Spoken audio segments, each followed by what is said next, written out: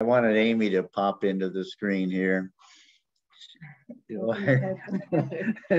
anyway, she's saying hello to all of you. Um, um, yeah, we're not muted, right? You can hear me okay? Somebody give me a thumbs up if you can hear okay. So, but uh, so uh, we greet you and we um, we I don't know how to say. I was talking to Rob yesterday, and I can't tell you how much it blesses our heart to know that you know you all pray for God's work in Nigeria, and that you you know Rob said that you often pray about the people and the events over there, and that's just such a tremendous encouragement. Um, I happen to be reading in Acts chapter uh, 14 yesterday, the end of the chapter, um, and in verse uh, 27, when they had come together and gathered the church together, they reported all that God had done with them and that he had opened a door, opened the door of faith to the Gentiles. And so I, I think it's a wonderful and healthy thing to be able to uh, share what you know what you're participating in. And uh, it still astounds me. I, I have to actually keep a physical record of it uh, but i have been given the privilege of going to nigeria 22 times uh, in since 2007 so it just seems like that's impossible um, but by God's grace, uh, I hope to go again. Um, the, the visa that I have lasts for two years, and there's such a pain in the neck to get that I try to make as much use of it as I can. And so I had thought about going in March, but there was some definite complications. So I'm hoping to go somewhere toward uh, the end of May or early June to go back again.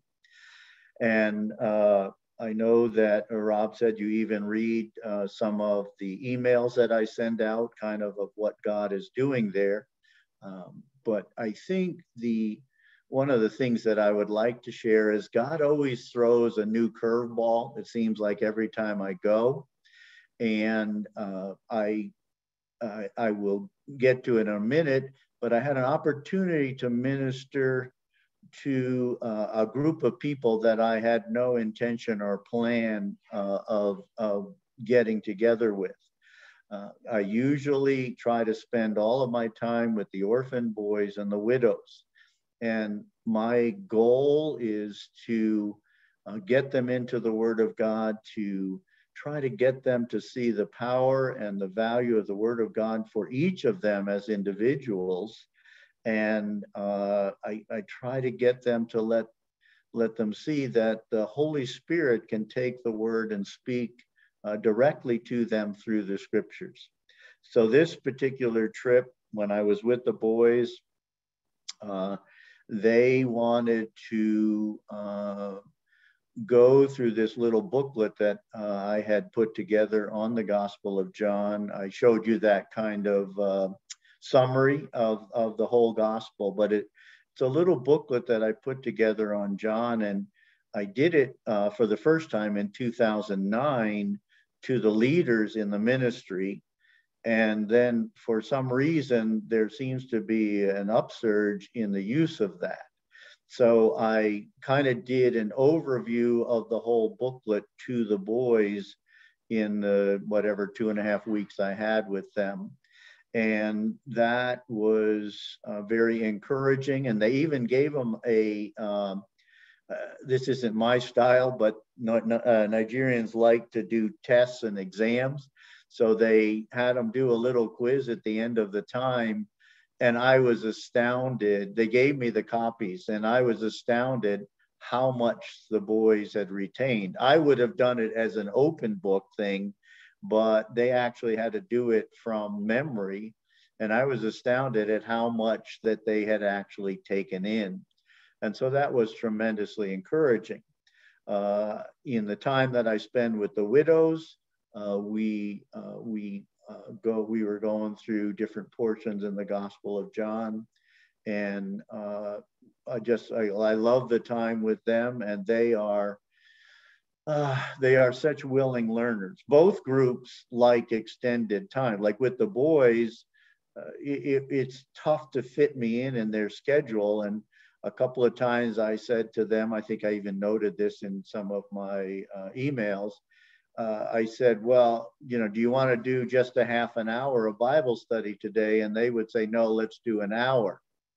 And like in the US, you'd say, well, you want to do a half an hour? And they would say, how about five minutes? So it's quite a radical difference in attitude. So the time with the boys was fantastic. Uh, the time with the widows was a blessing as always. And they usually allot at least an hour to an hour and a half of Bible study uh, five days a week with the women.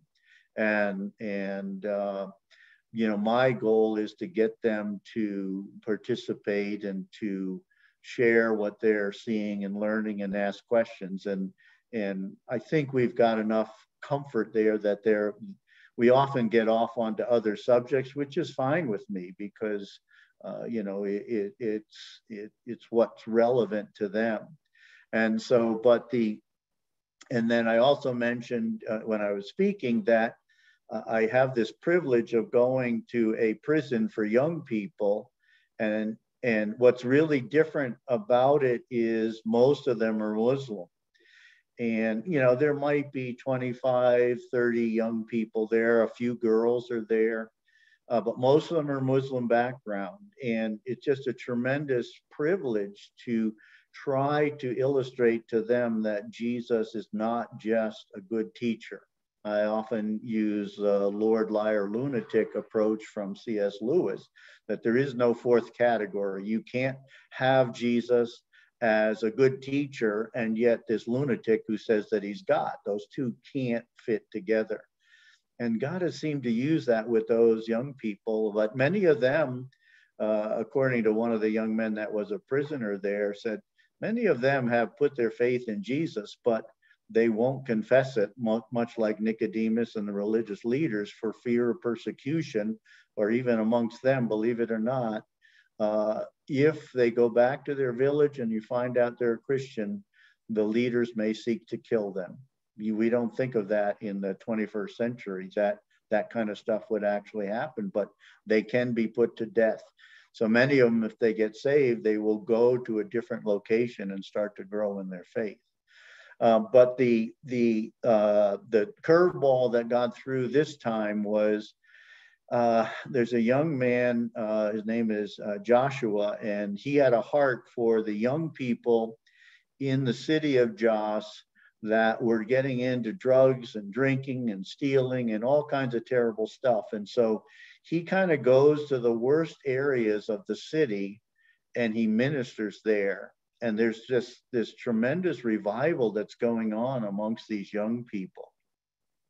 So, this last trip, I was asked to do something I'd never done before. They they they like this little booklet as a uh, tool for discipling. It's a way to get people into the Word, and it has some kind of continuity to it. And so uh, we printed several hundred copies of it, and then uh, they asked me to do a one-day seminar to teach the people that are doing the discipling, how to use the booklet to disciple others. So I've never done that. I've taught the book or you know taught John, I've taught it through the book, but I've never taught them how to use the book. So I was apprehensive and often I'll say no to things that take me away from spending time with the widows and orphans, but we decided to do it on a one day basis and so I agreed to do it. And so we did it, and about 50 people showed up. And that was a surprise to me because often, you know, and I don't care if it's two people, I, I don't, numbers don't matter to me. Uh, but where I was blown away is at the end of the time, the man who organized this pointed to a person and said, Okay, how many people are you discipling? And one guy said 30. One, how, how many are you discipling? uh, 50. How many are you discipling? 90. How many are you just 100?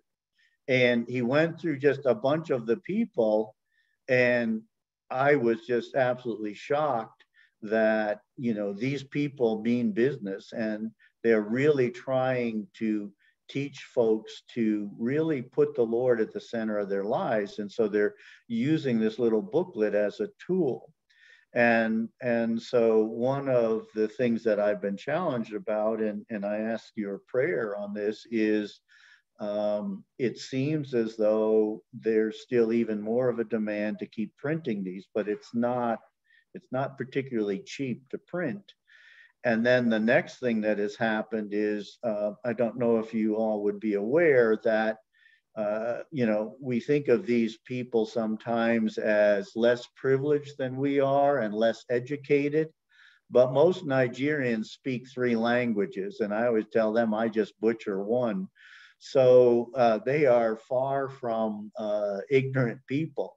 But the tribal language of the area is called Hausa and they are translating the little booklet into Hausa to help those that are not as comfortable with the English. And so I'm not sure where that's going to go either, but I appreciate your prayers on that. And so, um, but that's kind of just a brief overview. Um, uh, the irony, I think many of you would recall, is that the Canadian couple that I stay with that are theirs, they took on the goal of keeping me healthy because I got sick that many years ago. And so they're very careful about their food. But in their efforts to keep me healthy, each of them came down with the COVID while I was staying with them, which is not exactly the way of keeping me healthy. But I don't understand it uh, but I never got the COVID. And by God's grace, when I left, I had the negative test and was able to come home only to find, well, I knew before I came home, my wife had COVID as well. So no matter where I went, it was all around me, but somehow God preserved me. And I trust that that was in part due to your prayers. And so uh, just, I, and I have to admit at times I, you know, when I came toward the end of the trip and I'm thinking, okay, I'm going to test positive. What am I going to do? And whatever, you know, I start to hit the panic button a little bit. And, uh, but God was faithful as always. And, uh, you know, had a nice uh, trip home and, and a quiet week, uh, kind of hanging with my wife that week. And so it was a, a tremendous trip. And again, just, I just, I thank you all for your prayers and your support. So I'll end it there. And was I supposed to pray or is somebody else going to pray at this point? Oh, I'm going to pray for you, brother. Okay. Dear Heavenly Father, we thank you for our brother's ministry. We thank you for uh, his willingness to go out and serve the people of Nigeria and, in particular, uh, orphans and widows and uh, his willingness to um, go over this book uh, of discipleship and um, do this seminar when he was there. We thank you for preserving him. Uh, we don't know how, Lord, but to be in a house uh, where people have COVID and he still remained a negative test. Uh, we thank you for that. And he was able to come home on time uh, we thank you, Lord, for many things in his life. We we we know he wants to go back soon, and he thinks it's going to be difficult in March, but maybe around May or so. Uh, we just ask that there's um, uh, less of a travel restriction and and more of a uh, an easier time for him to get over there. Uh, we just pray that there's no uh, surge in in COVID cases to to restrict air travel, and we just pray that um, every second he's there, that you use him mightily, uh, you fill him with the Holy Spirit, and and Lord, just please uh, guide every step um, when he gets off that plane to when he gets back on it. And uh, we thank you for his service to you and his willingness to serve you. And we thank you um, in Jesus' name. Amen. Amen. Thank you, brother. So do you Amen. want? Thank you. And uh, I wonder if there are any who would have a question or two, even from online. uh, that you might uh, really want to ask. And uh, in the meantime, uh, I think we're trying to be a little bit like the Nigerian because we're getting to an hour and a half here and we're really enjoying a blessing. So we don't mind it a bit. but anyway, some may be leaving and that's okay.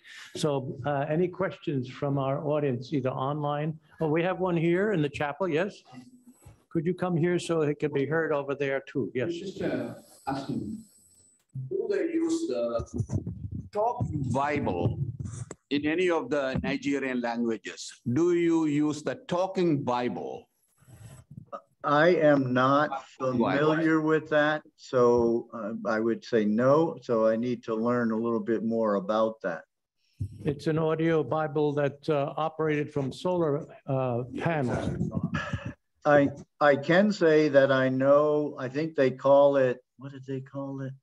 The pocket preacher or something like that. That I know that they make recordings uh, of the scriptures and they give it to uh, mostly to the Fulani people who are a Muslim group, and that they can uh, hear the Bible in their own language. But I have never used something like that. Okay. Another question is uh, the book for discipleship. Uh, what kind of book that you use? Uh, is it available here in our assembly? Um, it can be. I mean, I can send a, a you know, it's just a, um, it's about 60 pages and it's kind of an overview of the Gospel of John, uh, really based on the teaching of that brother David Gooding. And so I just tried to put it in a format that people could use it. Uh, but I can certainly uh, send a, a, a, uh, PDF copy or a Microsoft Word copy. I can send that to Rob and anybody who wants to use it. Uh, praise the Lord. If you're interested, yes. The, the, the, reason I am asking is, uh, you know, I understand from you that it's a, it's a very good book and it is effectively used. Can we duplicate this in India? yeah, I mean, again, if it's useful, really what it's supposed to do is kind of give you the feel of the Gospel of John. Uh, and as I said, most of it is a reiteration of what David Gooding taught. And uh, you know, we I can send a copy to Rob, and if, if it's of any use to anybody, uh, please feel free. Thank you. That seems to be the answer. That's fine uh, with our brother here. Do we have another question from another brother or even a sister, if you'd like? Uh, Eric, just a couple quick questions. Uh, one is uh, what first led you to Nigeria? What was how the Lord work in your life there? And then secondly, um, the uh, if you could for and maybe even deal with this first, uh, the logistics of getting there, how you fly there, the transportation on the road to get to Jos, and then uh, if you could just give people a sense of how long it takes to get there, and then what okay. happens. Uh, your your first question, I missed part of that. Your first question. First was question was how did the Lord bring it about so that you had an interest in Nigeria? Okay. Um, well, I take absolutely no credit for it. Uh, my daughter Rachel graduated nursing school in 2007 and she said, Dad, I'd like to do a short term mission trip. So we went to visit uh, a man named Peter Fretheim, whom I had known from years before in high school. He came to the Lord uh, through the ministry of Young Life, and he ended up a missionary in Jos, Nigeria. So it seemed like the logical place to go. And I went with my daughter and thought that was that. And then about two years later, Alex Leal got a hold of me. He says, I hear you went to Nigeria. You want to go again? And I said, sure. And then he calls me a year later. You want to go back again? Yeah, sure. And that led to 22 times I've been there. So it's really of the Lord. But uh, as as I got into it, in the beginning, you kind of go see the big picture of everything. But as the second time Alex and I went, we spent most of our time with the orphan boys, the high school orphan boys, and that's what really started to tug on my heart. And so I made them my priority and the widows. And so instead of kind of seeing everything, I, I zeroed in on that. And, and so many of them will call me from Nigeria because, uh, and then they hang up and I call them back because it doesn't cost them any money for me to call them. And so God has given me a way to keep in touch with many of them, even when I'm back here in the United States. Uh, and your second question was the trip. Uh, it's what I call a marathon. Uh, and I, I made the stupid choice of moving. No, I'm kidding. But by moving to Colorado, I add another four or five hours to the trip. But um, it, it's usually uh, door to door getting there uh, about 40 some odd hours because you you know you go to the airport you wait you get on you take time in paris you fly into abuja you have to stay at a guest house and then it's about a five or six hour ride from uh, abuja to jos. And so um, i don't know i feel like you, you know you're running a marathon and you know you're mile five you're mile 10 and so forth. And somehow God gives me the grace to to to just do it. But you kind of pace yourself. Uh, but but the Lord has been incredibly gracious to me because many times I pray for an empty seat next to me just so I don't have to play, you know, the elbow game with people, you know, about who gets the armrest, you know. And many, many times God has given me, you know, room to kind of just relax and and uh, get ready for the next phase. So does that answer the question enough, Rob? Okay. You have any other questions before uh, we get excused online? We certainly have had a robust uh, question period, and we appreciate your lengthy and detailed answer as well as a wonderful opening of the word in chapter seven. It's enlightened and blessed us as we think of all the processes that were involved there and the interchanges. So we thank you for being with us today. We feel like we're just right across the uh, uh, right across the pews, as you might say. Oh, praise the Lord for that. That, that very much. Thank you.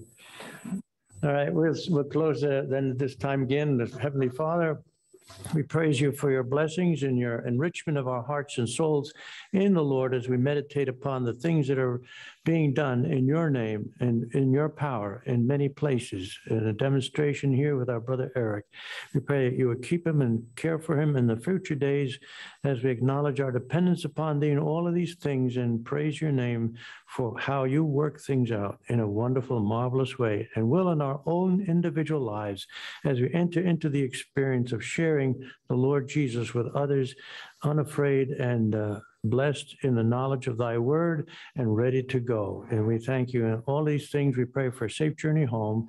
And for those online, we pray thy blessing as well in their different needs. In the Lord's name, amen.